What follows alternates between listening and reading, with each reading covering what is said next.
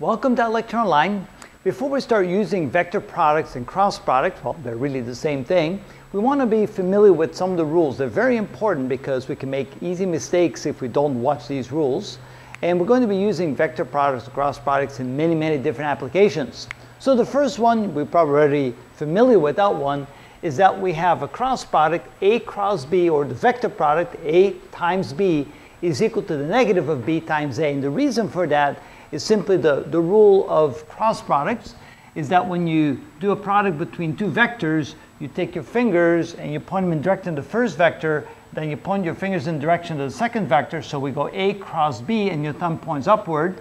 And then if we do the thing in reverse, then you point your fingers in the direction of B, curl your fingers in the direction of the A vector, and then your thumb points in the opposite direction. So simply one is the opposite of the other, and we can, uh, we can indicate that with the negative sign. So you can see that in this case, C is the result of A cross B, and minus C is the result of B cross A. They have the same magnitude, they're simply pointing in opposite directions.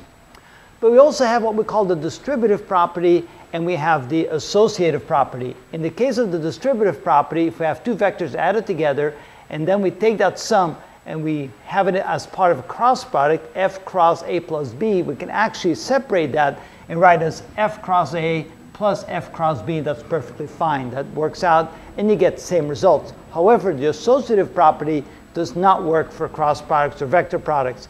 Here we have f cross a cross b, if we do f cross A first, and then we take that result and do cross B, you get a different result, so it's not the same as if you do A cross B first, and then you do f cross the result of that. You will not get the same result, so you got to be very careful about doing that. Also, you do not want to rearrange. So you don't want to do the commutative property where, where you can rearrange the cross products.